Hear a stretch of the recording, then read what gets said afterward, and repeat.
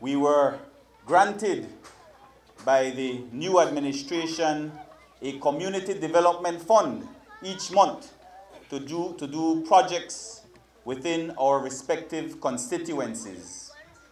And the first thing that came to my mind when I heard this was that we need to have a park in honor and tribute to this legend and this icon of Kelly Street, Mr. Program.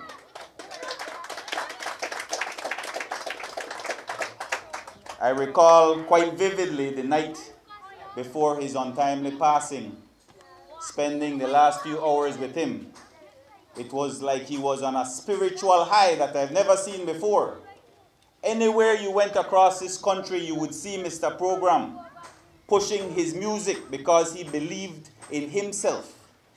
And that is the type of belief that we want our young artists to have in themselves, and we want politicians to have in these young artists the same type of belief and to invest in them. And likewise, the community that they hail from. Today we celebrate and honor our dearly departed friend, Gilbert Mr. Program Alamilla. Through the dedication of this multifunctional space, made possible through the efforts of our hardworking minister and Caribbean Shores rep, Honorable Kareem Musa,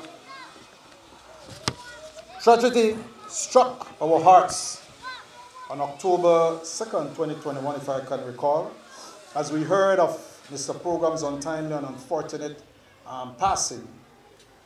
I am certain a storm of grief stationed itself over this community, um, as a matter of fact, the entire city, and of course the entertainment sector as we prepare to bid our final farewells.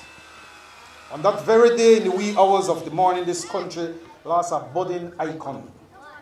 And in his honor, we are gathered to lay the inspirational foundation minister for the development of numerous icons